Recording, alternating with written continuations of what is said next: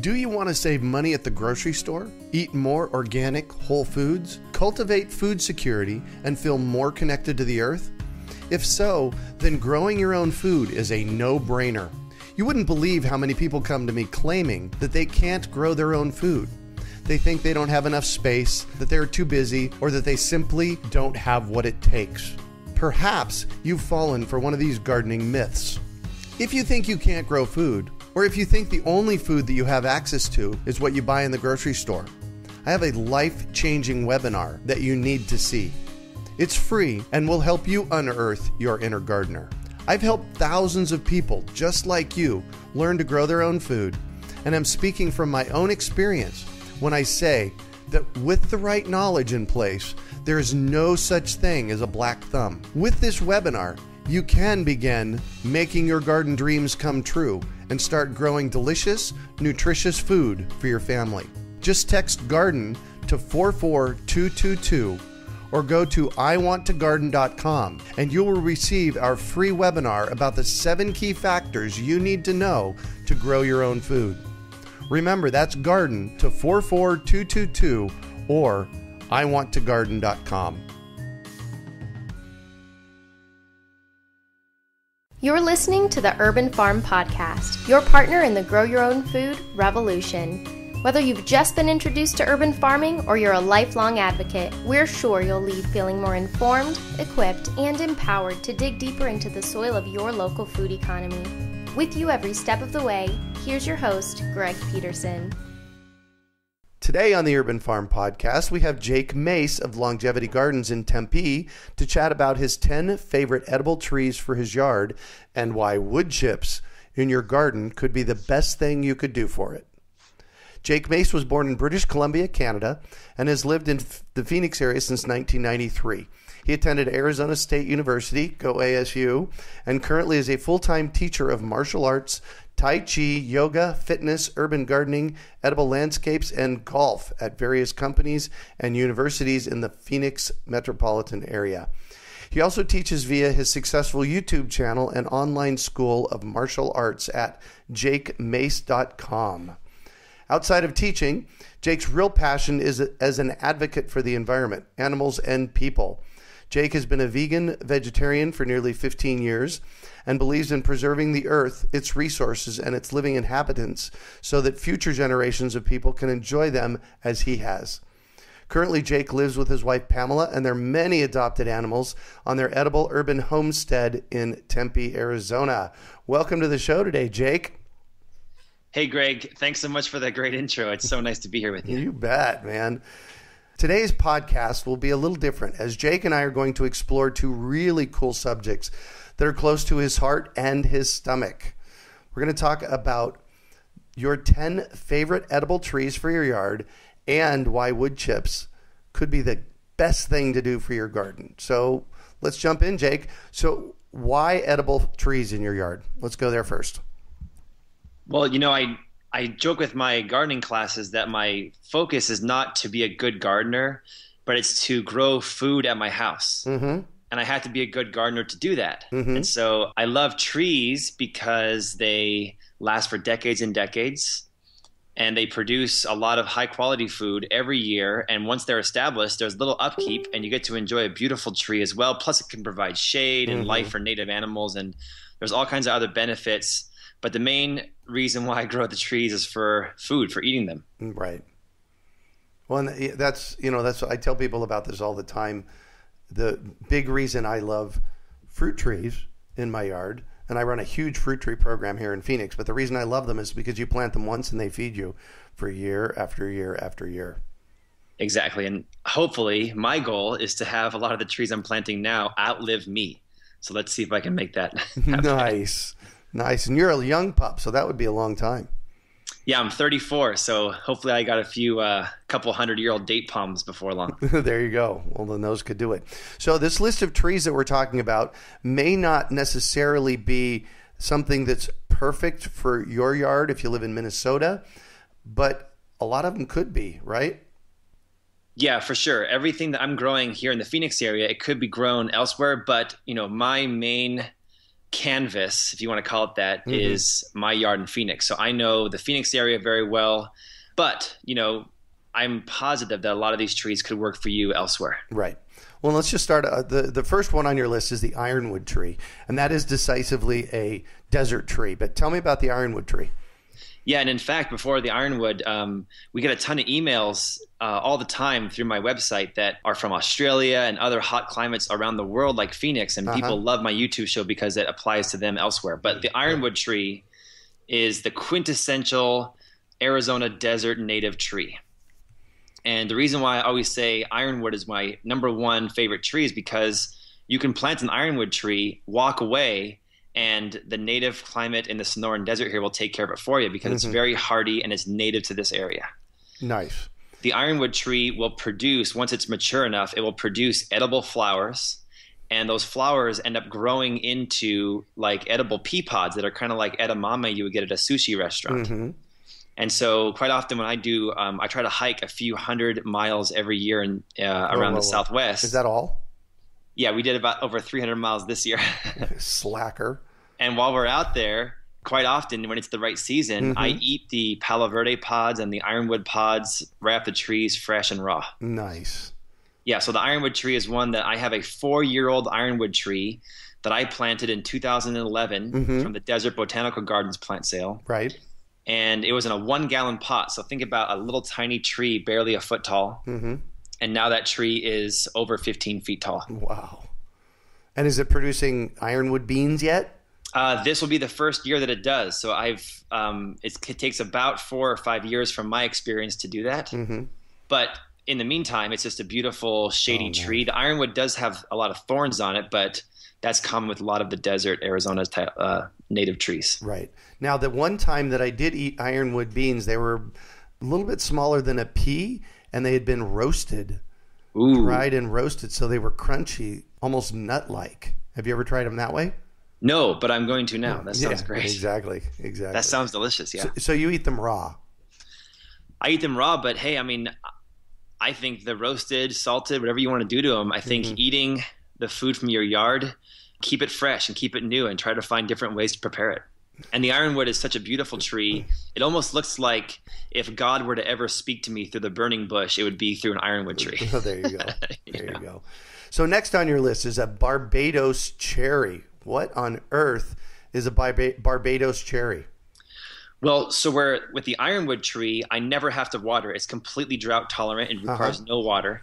The Barbados cherry is not a Phoenix native, but it can take the full Phoenix sun and summer. So it's also called an acerola cherry tree. Mm-hmm. And the acerola powder or acerola cherry is one of the foods that has the highest contents of vitamin C of all foods. And so you can go to a health food store and you can actually purchase acerola uh, vitamin C powder, mm-hmm. or you can just grow a Barbados cherry tree yourself there in your yard. Yeah, I started growing. I have a couple of them growing here, and they seem to do pretty well in the winter here when it gets cold. So it's probably something that could be grown in other climates. Yes. Completely, and I don't know why more Phoenix residents don't grow Barbados cherry because mine mine does um, lose a little bit of its leaves in the winter mm-hmm. and it mm-hmm. takes the full summer heat. But what happens is that the Barbados cherry is a tropical cherry, and so it doesn't have a pit; it has multiple seeds. Mm-hmm. The cherries are really delicious, especially if you let them ripen until they're fully deep red or purple. And they fruit throughout the entire year. They don't have a nece- they don't necessarily have a season, and so you'll get cherries about eight months out of the year. Nice. The first one I planted was in a three gallon pot initially, and now it's probably, I would say, higher than 10 feet tall oh and at gosh. least about eight to 10 feet wide. Wow. It's kind of like a pomegranate, kind of a bushy type tree. Uh huh. Wow, fantastic. And I, and I just want to revisit this whole vitamin C thing. What I had read was that the Barbados or Acerola cherry has a thousand times more vitamin C than citrus. Yes, I read the same thing. Wow. If you search anything on online, just search for um, uh, vitamin C or nutrition content of mm-hmm. acerola cherry, and you'll you'll be super inspired to plant one of these guys. And this this top 10 list I'm giving you guys today of my favorite trees. We're two trees in now with the ironwood and the Barbados cherry. These are my favorite 10 trees for producing a lot of food. So you can grow a ton of things in the Phoenix area. I have about 250 plus edible trees on my third of an acre in Tempe. Mm-hmm. But these are my 10 that I think produce the most amount of food for your buck. Nice. Nice. So the next one on the list is a fig. Number three. This probably should be number one because the fig is one of my favorites. Uh-huh. and um, I, I, it's amazing. I do these garden workshops here. I bring in Phoenix residents to do um, gardening uh, tours and workshops, and mm-hmm. so many people, probably eighty percent, never in their life even tasted a fresh fig because what I'm finding is that the figs don't have a very long shelf life. You know, once they're oh, off the oh, tree, they right. tend to mold pretty quick. Yep. So that's why you don't see them in stores. You mm-hmm. know, um, grocery stores are interested in fruit that can keep a long time to protect their bottom line.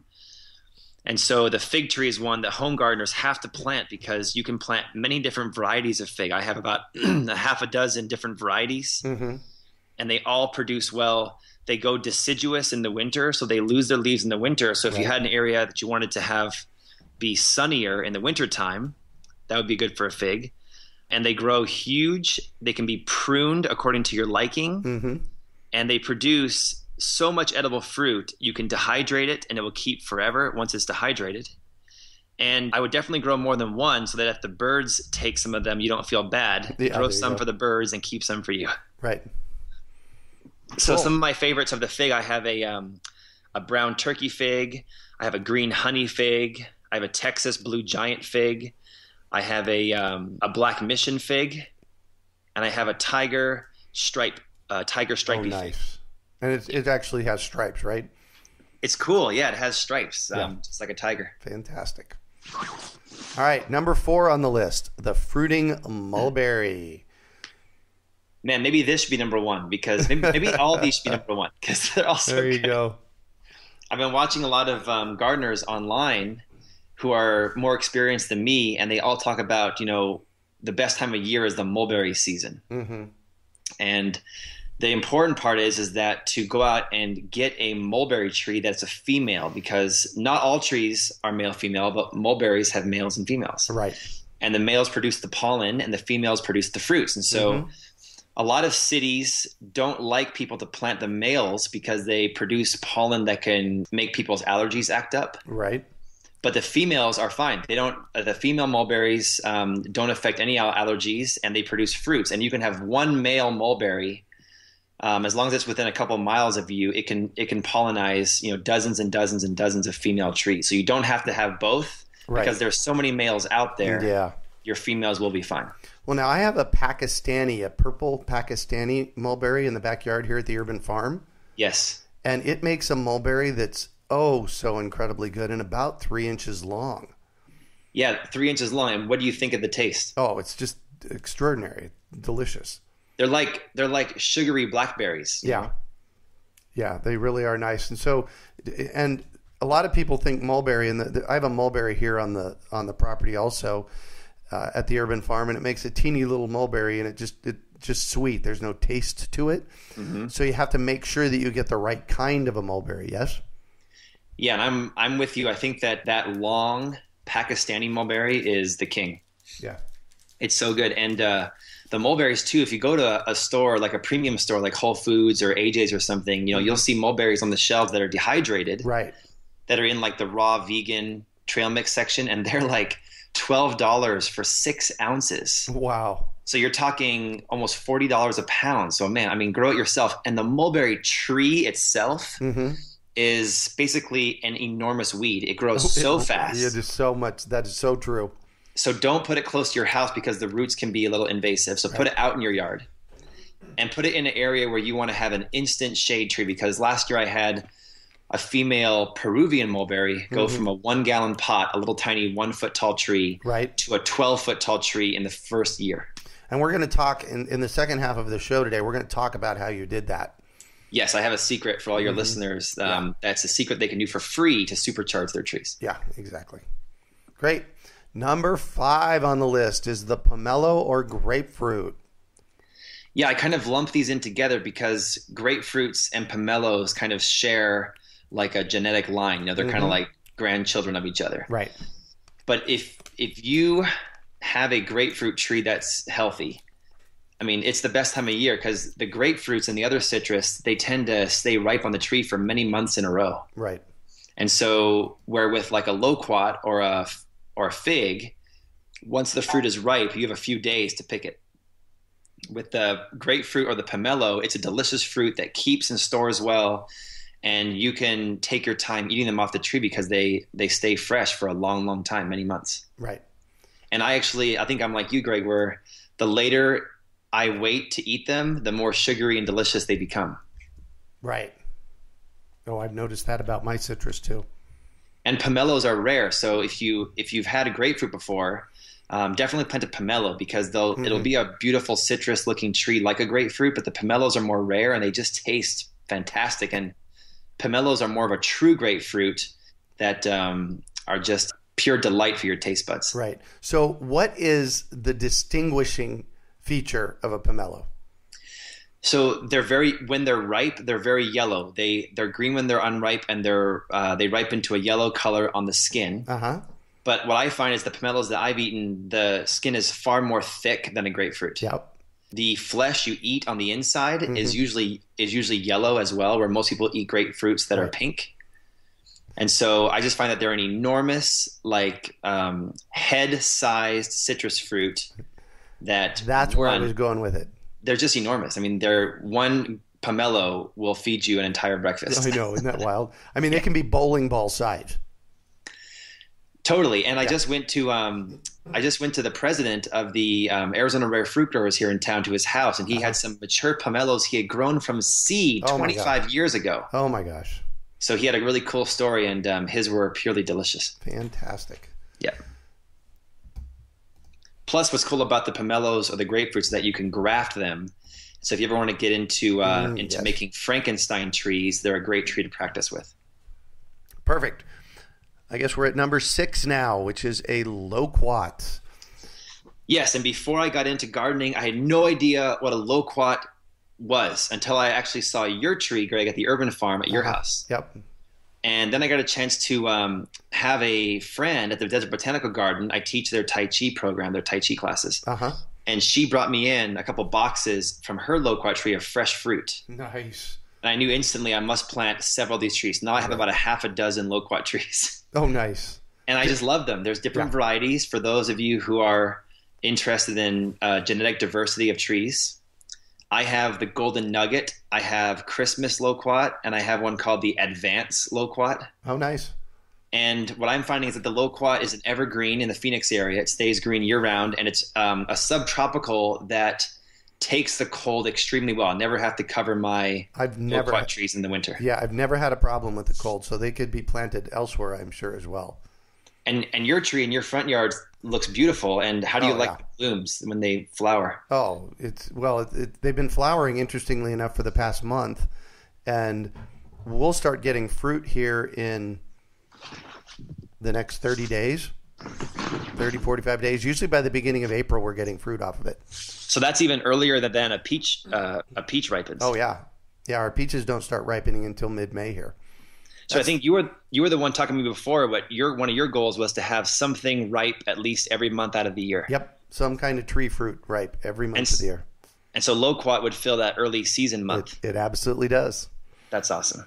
And and loquat is so underrated for taste. The loquat fruit itself is orange and kind of fuzzy like a yep. peach or an apricot. Right. But the taste is better than those. I think it's just it's a yeah. tropical, delicious, sweet orange fruit. It's fruit. so delicious. Yeah, and it's it's kind of fleshy like an apricot.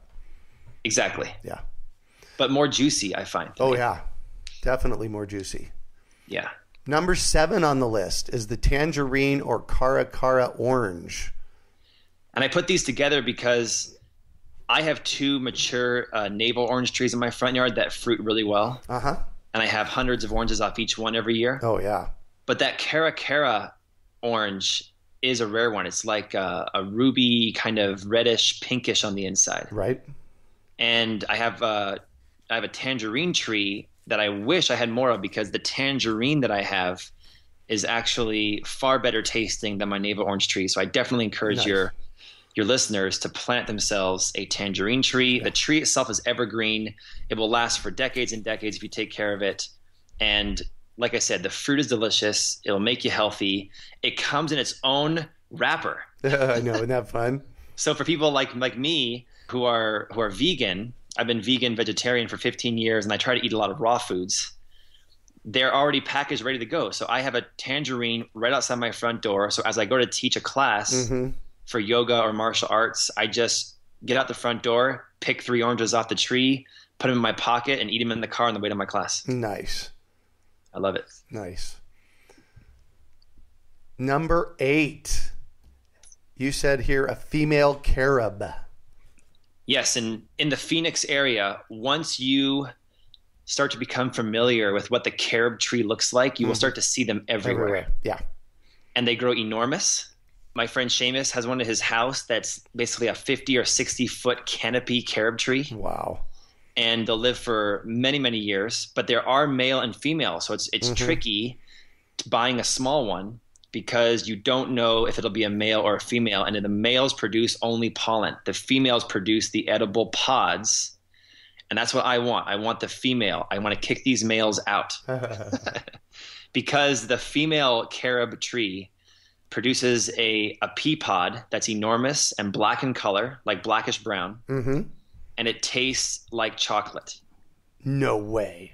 Yes, and so if you are ever looking for a chocolate substitute, Mhm. like chocolate chip substitute, normally you go and buy carob chips or a carob chocolate chip cookie, Right. and that comes from a tree. And so the actual tree can be grown, but the carob tree that I purchased and planted in my yard, Mm-hmm. I went to a nursery here in town that already had a female uh, flowering, fruiting carob tree in a box. So it was like a 25 gallon box. Nice. And that way I knew it had already flowered. I knew it was female. Mm-hmm. Because I, I didn't want to invest five or 10 years into a male one and have it just produce flowers. Right.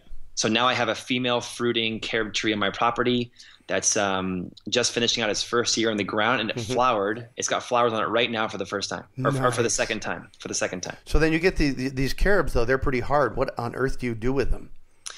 Well, when they're raw and fresh, they're a little more, a little more, a little more workable. You can mm-hmm. try to eat the flesh out from the inside, or you can dry them and then pulverize them in like a Vitamix blender or a coffee grounder, and then use the powder for mm-hmm. baking and cooking and chocolate substitutes. Yeah, and it's really nice. And the biggest resource you can you can use is the internet. So go on the internet and type in uses for carob. And do that with all your trees and all your plants, and you'll find an infinite amount of ideas. I'm finding that people, that gardeners out there, they try to talk to me candidly on the side, and they tell me they end up throwing away a lot of their fruit and produce. So they don't know how to use it. Mm-hmm. So I would say use the internet, and for sure go to my vegan athlete YouTube channel. I have a lot of different um, ways you can be creative with your food in your yard. Nice. Nice. And we'll have that link on our show notes page. Perfect. And all the links to my Instagram and YouTube are also at jakemace.com. Perfect. Um, number nine, drum roll, please. This is called a moringa, and the moringa just showed up on the on the scene. What about three years ago? Yeah, and I planted mine about three years ago, so I'm going to take credit for the moringa craze. Nice. no, Good job, man. I'm with you. But no, I seriously did plant my moringa trees about three years ago, Mhm. and they were seeds. I planted four of them. Two of them I got from uh, a local grower named Suzanne Bellardi. Uh huh. the other two from a gardening friend. And now I have four uh, moringa trees that are probably pushing 20 feet tall. Nice. And what do you do with the moringa? So the entire tree is usable. The leaves are what we are really after because the leaves of the moringa are an edible green Uh-huh. that's healthier than kale, and some people say is healthier than wheatgrass juice. Wow. So if you ever go to Jamba Juice and do a shot of wheatgrass, I, I grow wheatgrass in trays and I juice it here at my house. And wheatgrass, one ounce of wheatgrass juice is equivalent to the nutrition you would find in five pounds of spinach. Wow. Yeah, and moringa, the moringa leaves are even more nutrient dense than wheatgrass juice. mm-hmm. So they call it the multivitamin leaf. It has more calcium than milk, more protein, calorie for calorie, pound for pound than beef, more vitamin C than oranges, more potassium than bananas, et cetera, et cetera. Wow. You can also eat the edible pea pods, and Mhm. people in Africa call the moringa a drumstick tree Mm-hmm. because the pea pods in their young state are edible like green beans, and when they get large and mature, they're no longer edible, but you keep them for the seeds. Mm, right. And then some people even say you can shave the bark of the moringa off and use it like aloe vera as an antiseptic oh. in a oh. wound. Huh. But I have yet to do that. I, I just eat the flowers. I eat the the pea pods, the uh-huh. bean pods, and I eat the leaves and give away a lot of seeds. I do. We go through a lot of seeds. yeah, exactly. We, exactly. we give the seeds to local nurseries. We use them ourselves. We sell packs of 25 seeds for $4 at jakemace.com. And we also dehydrate the moringa leaves, mm-hmm. turn them into a powder, and use them as a protein powder for vegan smoothies. Oh, perfect. Perfect. So, one of the, the distinguishing things about moringas, though, is they hate the cold and they love the heat. Isn't that the case? I don't think that my moringas even start smiling until it's like 115 outside. I know. Yeah. yeah. They love it, and and it's no joke. I mean, I have a couple moringas that have a trunk now about almost maybe a two foot uh, diameter across. Wow! And they were seeds three years ago. So this mm-hmm. is from from seed to twenty foot tall tree in three years. Nice. They're the, one of the fastest growing trees I've yeah. ever seen. I would say mulberry and moringa. Moringas are right up there. Yeah. Are incredibly fast growers. So, and then number 10 on your list is the date palm. Now, honestly, this one maybe should be number one because if you're new to the gardening game and you're trying to create a well thought out edible landscape, uh-huh. I think that date palms should be the first things you plant. And, and here's why because they kind of become the top canopy and the grandparents of the yard. Oh, yes, that makes perfect sense. And so they'll get really tall. Um, they can get uh, 40 or 50 feet tall. I just was with a lady in Arcadia, Arizona. Mm-hmm that lives in a, a neighborhood that has almost 500 uh, black sphinx uh, date, date palms, palms in it. Yeah. And she has a lift that takes us 50 foot up to the top of the canopy, and we ate dates fresh off the tree. Oh, nice. Yeah, we have a video about it on my Vegan Athlete YouTube channel. Nice. And so, what she taught me is that if you love if you love to eat dates, mm-hmm. and you eat a date, and you love the taste of that particular date, and you plant the seed of that date, it will not be the same tree. Right. So it's it's really useless to plant the date seed for mm-hmm. the most part. What you're after is find a date tree that you love the taste of, and then hopefully it'll have a baby pup growing at the bottom, and you can right. knock off that pup and plant the pup, and that will be true. It'll be a, a genetic identical tree to the mother. Nice. Um, so we have now um, about ten female date palm trees here at my longevity gardens. Wow, do you really? We have 10 and and 9 of them are female. Mm-hmm. Uh, they produce the fruits and one of them is male. It produces the pollen. And they're all babies and they're all growing up, so hopefully when I'm still in my 30s, I'll have fruiting date palms. and what's cool about it is, is that if you have a bunch of female fruiting date palm trees, uh-huh and there's at least uh, one male tree in your area a few right. miles away uh-huh. you're fine it'll that that male can pollinize up to 50 females wow but here's the thing if you find the pollen of a male and you break off one of the one of the brooms of pollen off the male tree uh-huh. and you brush that pollen against the female flowers when the female flowers open mm-hmm. you'll increase your date production by 10 times whoa hold on 10 times. Exactly. I just went to a date palm ranch in Death Valley uh-huh. called the China Date Ranch, and they said that without pollinizing the female flowers, they get about uh, 30 or 40 pounds per tree. Uh-huh. But when they pollen, when they when they brush the male pollen against the female flowers, they get three to 400 pounds wow. per tree. Wow. So imagine you... imagine 400 pounds of dates. Oh, no kidding. it's almost an obscene amount. I was going to say the nice thing is, is that they save very nicely. They save incredibly well, especially in the freezer. Mm-hmm. And if you're a vegan athlete like me, I can eat like 30 dates a day, and yeah. uh, they fuel my entire life.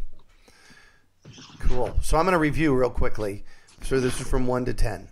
We have yes. ironwood, Barbados or acerola cherry, fig, fruiting mulberry, pomelo or grapefruit, loquat, tangerine or caracara navel, female carob, moringa, and date palm. And Those are my favorite 10 trees if you want to produce some food in your yard. Fantastic. And so when we talked about doing this interview, you said, but Greg, I've got 15. I got 15, but the other five your listeners have to go look up on their own. And the other five are jujube, starfruit, uh, neem tree, pomegranate tree, and banana palms. Nice. They all work as well, but um, go look those up, and uh, you can check out my YouTube videos about them at the Vegan Athlete YouTube channel. So let's move on to this next piece. I put a little teaser in here. Why wood chips in your garden could be the best thing that you could do for it. So let's let's talk about that. Why wood chips? Why would we want to put wood chips in our garden? Because when I I have a garden bed, and if I have wood chips in my garden bed, things are things don't grow. I've I've noticed that before. So what's the deal? What's going on here? Yeah, I think you were the first person when I took your class years ago that told me the power of mm-hmm. including wood chips in your landscape. Yeah. This has been reinforced in me so many times since then, the last five years I've been gardening. And for the most part, the number one way I'm convinced that wood chips is the way to go is because when you go into the forest and you see these redwood trees or these incredible pines Pine or trees. whatever else you see. Exactly. They're the healthiest, most large, ancient trees you've ever seen. Mm-hmm. And what is on the ground? 100% wood chips. Yep. In the form of leaves and pine needles and wood chips and bark and fallen trees that are decomposing. Mother Nature gardens veganically uh, with plant matter like wood chips. Mm-hmm. And so I'm trying to emulate nature and the forest here at my yard, and it works. Um, when you plant a tree in the ground and you just leave it, it will it might make it just like a human who smokes might make it to an old age. But mm-hmm. for the mm-hmm. most part, if you put one to two or more feet of wood chips on top of that hole, around the root system of that tree, on top of the soil, it'll do so many beneficial things for the soil and your tree. Did you say feet? Yeah, so there's parts of my yard right now that I have I have over four feet of wood chips piled up where we are we're, we're looking over a seven foot tall fence because my landscape has been built up because of the wood chips. We put almost almost two thousand cubic yards of wood chips on my wow. property so far. It's about a third of an acre. Wow, that's incredible. And I get them all for free. Yeah, so we're going to talk about the the how you get them for free. Let's talk about what wood chips actually do for your soil, and then how to use them. So let's start with what do they do? All of my information is from my experience. What I've found is that wood chips improve the microbial life in the soil. Mm-hmm. And this is important because we want to create an ecosystem under the ground that helps to feed our trees without us being there. And so there are there are bugs that we can see like roly polies and worms and earwigs and different kind of bugs that are constantly pooping in the soil and eating the organic matter and they're doing really good things for the tree. The tree then soaks up all the nutrients that those bugs produce. Mm-hmm. But there's also microscopic bugs under the soil that use the wood chips as the wood chips break down, they use it as their food. Mm-hmm and as they create their colonies of mycorrhiza and microbes and all this kind of other microscopic, you know, life under the soil, the wood chips is their fuel. And as they eat it and break it down, the tree drinks up the nutrients and the byproducts. Perfect. Number so- two, the wood chips keep the roots of your tree warm in the winter mm-hmm. and cool in the summer because just like when you have your car in the Phoenix area in 120 degree heat, you always put a shade screen in the windshield of your car. Right. The wood chips is the shade screen for the roots of your tree. And in the wintertime, I can keep the roots of my tree 10 or more degrees warmer because of the thick layer of wood chips I have on top of the root system. Nice. Exactly. Number three, wood chips are going to save you water because the water will not evaporate as fast. And so you can water your trees less. Plus, the overall moisture level of your roots will be more consistent. Mm-hmm. So your tree will be healthier because it will have a constant a constant uh, moisture level that will also drop your water bill sometimes by up to 66%. I've I've seen my water bill drop two thirds because of using wood chips and in the summertime in Phoenix, that's a, a really important thing. Nice. The other thing is is that wood chips is a constant form of fertilizer. So instead of going out into your yard and adding, you know, chemical fertilizers, wood chips is a long term, slow form of fertilizer. So as the every time, time it rains in my yard, um, that's helping those wood chips break down into organic matter that the tree can use as food. And the other reasons to put wood chips is that after it rains, it smells like the forest in my yard. It's a very amazing aroma. Isn't that nice? Um, I don't have any more mud pits because mm-hmm. I used to mm-hmm. have a monsoon hit and my clay soil would become a mud pit. Right. And now it's a spongy, really nice feeling, almost like a trampoline kind of feel where it's nice and soft to the touch when you walk on it. And I just, I really love it. I think that it looks so sexy. I think that wood chips mm-hmm. uh, bring a lot of good lookingness to your yard. yeah. yeah. Yeah. Let's go back four years. Tell people what your backyard looks like. So my house is very small. I'm in like a 1970s neighborhood, typical neighborhood. Mm-hmm. My front yard's normal. My backyard is huge for some reason. It's like a third of an acre backyard. Uh-huh. And we have a trash alley behind it as well. So it's just a big backyard, but it was totally barren. There were some bougainvillea bushes that have huge thorns and really no nutritional use for bougainvilleas. Uh-huh. and um, just clay, just a big clay lot. I think most people were afraid of the size of the lot, and so that's why my house stayed on the market for so long mm-hmm. unsold. Mm-hmm but for me, I, I, I wanted the yard. I wanted the land. So my wife said if she can uh, redo some rooms of the house, I can have the yard. oh, perfect. And we ended up doing it. And um, I just started uh, planting trees. But when I first started planting trees, I didn't use wood chips. And so for for planting five or ten trees, I was using a lot of water, and the uh-huh. trees were drying out too quickly. Yep. The soil was way too compact, and I killed a lot of things. Right. So I would say for your listeners that even if you planted your trees incorrectly with the wrong soil and you feel like you abused them, mm-hmm. add the wood chips on top because the the bugs and the microbes will help to bring life to your soil if the wood chips are on top of the ground. Right. And then every season, three or four times a year, just add a little bit more wood chips. It could be it could be leaves, it could be pine needles, wood chips, even your food scraps. Constantly add to it because as it breaks down, you want to add more on there. Right. And Greg, I'm not even kidding you. If you come to my yard now uh-huh. and you dig down into the soil, it's black underneath there. Yeah. Underneath the wood chips is black, just uh, forest humus full of worm castings. Isn't, isn't that nice? I, I actually was going to tell a story. The first time I came to your place had to have been about two years ago, I'm thinking. And it was February and it hadn't rained since November. And I'm standing in the middle of your backyard and I take my boot and I'm starting to dig a hole in in your backyard, just you know, like a divot hole. And I get down about three or four inches, and it's nice and damp. And I said to you, "So, how often do you water out here?" And you said, "I never do," and it was still damp there. And then the other really cool feature of that was the it was no longer this white clay dirt. It was this, like you said, nice humus that is, uh, you know, creating itself in the space. I think that was that was fun. That was a good um, yeah. demonstration of the power of the wood chips that, that yeah. day. And I remember I remember showing that to you, and that was in like a common area. That wasn't mm-hmm. even by a tree. Right, exactly. That was right out in the middle. And guess what? I've added about two feet more wood chips since then. Isn't that wild?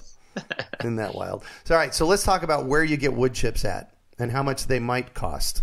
Yeah, there's a few things. So there's how do you get them? How much do they cost? And people have all these concerns. Like people are afraid of them because they build up some concerns in their minds. So I'm here to uh, I'm gonna I'm gonna settle those concerns today too. Great. So where do you get them? Okay, number one way to get wood chips is to be cool. hey, you mean like Fonzie cool? Hey. Yeah, even even beyond Fonzie. Yeah. so the way you get them is you got to be cool because you got to go out there and find local tree companies that are in your area. Uh-huh. Um, I have about four or five tree companies that I've called and talked to in the past that are willing to give me the wood chips after they throw trees into their big truck. Right. They have these big trucks with these huge choppers that chop them up into little pieces. Yep.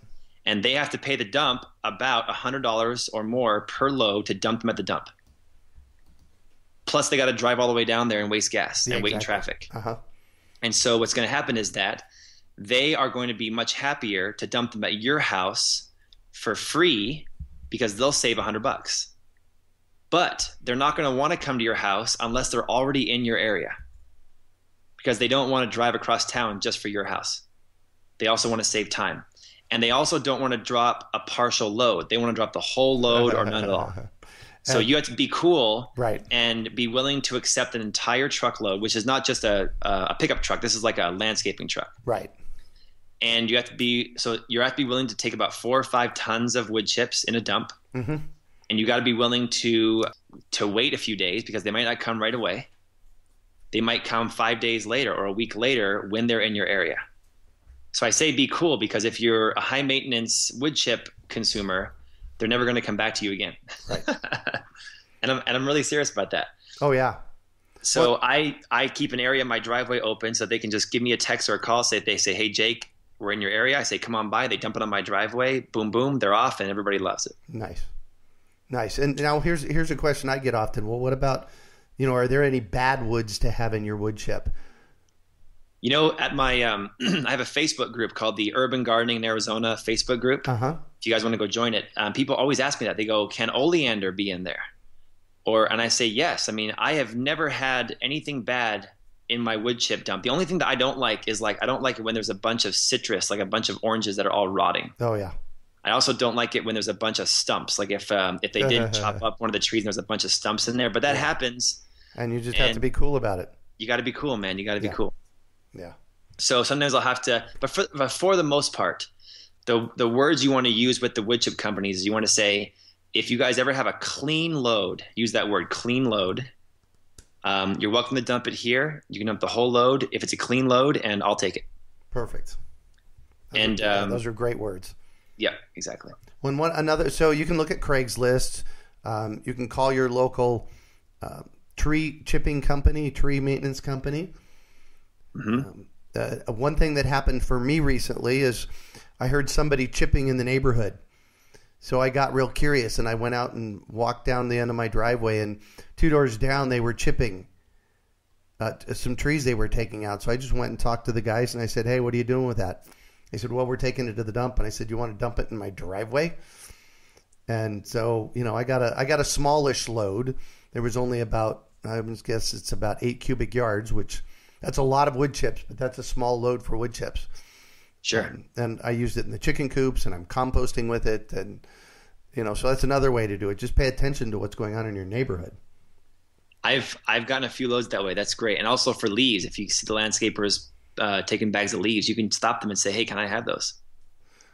Great. And um, that's a good point you just made with the chickens. Um, Uh-huh. If you add the wood chips into your compost or your chicken runs or your chicken coops, that's a way to eliminate all the smell because the carbon that's in the wood chips tends to neutralize all smell. Yeah, that's pretty cool, isn't it? Yeah, I love it. All right, so I'm gonna we're kind of running short on time here, so I'm gonna kind of direct this a little more. So let's talk bugs. I often Yes. get the question, "Hey, is this going to attract a lot of bugs?" I get this question all the time. People are afraid of scorpions, they're afraid of termites. And they want to know is it going to increase my scorpion or my termite civilization in my Uh-huh. yard? Right. I've never found that to be the case. Neither have I. I've I've been in my house for five years. I've seen one scorpion ever, and actually, my wife saw it. I didn't even see it, and I've never seen a termite. Any evidence of termites? So Mhm. I think that there's that saying that if you're in Phoenix, you either have termites or you will get termites at some point. Yeah, exactly. But I have never found any of my gardening friends, nor myself, has ever found that the termites have become more prevalent with wood chips. I've never found that to Yeah, be the case That's not the case. Exactly. what I find is that actually the wood chips, you know, increase the overall civilization in your yard, Mm-hmm. so you actually have a better balance. Exactly. And um, what I've also found is that there are more bugs because like roly polies and worms and earwigs will go to where the trees are. Mm-hmm. But you need that. I mean, that's the whole purpose of putting wood chips down. You're trying to improve the the microscopic and bug civilization, but you want it to be out there in your yard with your trees. Right. And the one thing that I do notice that wood chips does is when I first spread a brand newly dumped pile. Uh huh. So when a fresh pile is delivered to my house and I spread it, um, there are a few flies that come to it initially, but after the wood chips cook down after a few weeks, that tends to settle up. Yeah. And it's not really bad though. No, it's not that bad. It's just um, um, it's actually there's a lot more benefits. Like a new load of wood chips smells like the forest. My neighbors actually come out and say, "Oh, this smells so good." Yeah. There you go. And when it rains, it, it really does just look and smell beautiful when it rains. Yeah. That is the case. All right. So I really enjoy the wood chips. Um, the bugs are never an issue for me. Is there any other any other main questions that people have about wood chips?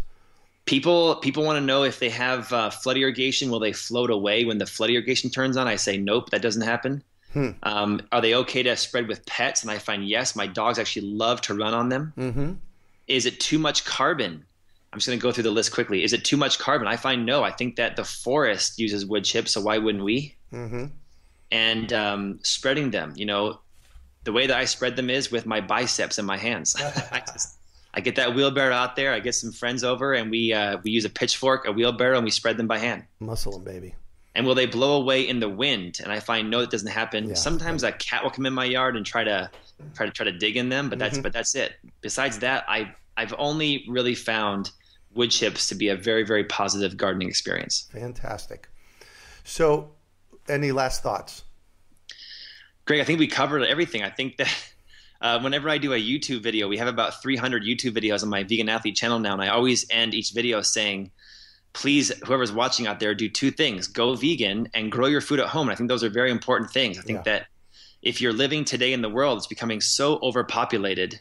We've got to start growing our food at home because the roof of our house is an untapped energy source. Use solar panels. Yep and the front and backyard is an untapped refrigerator. Grow your food. Fantastic. Thank you so much for joining us on the show today, Jake. How can our listeners get a hold of you? How can they find you? You know, email me all your questions at the jakemace.com email system. I'm very active on Instagram at Jake Mace Tai Chi. Uh-huh. And uh, join my Facebook gardening group called Urban Gardening with Jake Mace. Fantastic. Thank you, Jake. And that's it for today. Thank you so much for joining us on the Urban Farm Podcast. Hey, great. I love this show, and uh, thanks for having me on. You bet. Do you want to save money at the grocery store? Eat more organic, whole foods? Cultivate food security and feel more connected to the earth? If so, then growing your own food is a no brainer. You wouldn't believe how many people come to me claiming that they can't grow their own food they think they don't have enough space, that they're too busy, or that they simply don't have what it takes. Perhaps you've fallen for one of these gardening myths. If you think you can't grow food, or if you think the only food that you have access to is what you buy in the grocery store, I have a life changing webinar that you need to see. It's free and will help you unearth your inner gardener. I've helped thousands of people just like you learn to grow their own food, and I'm speaking from my own experience when I say that with the right knowledge in place, there is no such thing as a black thumb. With this webinar, you can begin making your garden dreams come true and start growing delicious, nutritious food for your family. Just text garden to 44222 or go to iwanttogarden.com and you will receive our free webinar about the seven key factors you need to know to grow your own food. Remember, that's garden to 44222 or iwanttogarden.com. We hope you enjoyed today's episode of the Urban Farm Podcast. Remember to listen three days a week for tips, advice, and resources to help you on your journey with urban farming. You can find us on the web at urbanfarm.org or send us an email to podcast at urbanfarm.org. In the words of Vincent van Gogh, great things are done by a series of small things brought together. Be encouraged that with each lesson learned and skill developed, you are one step closer in the direction of your dreams.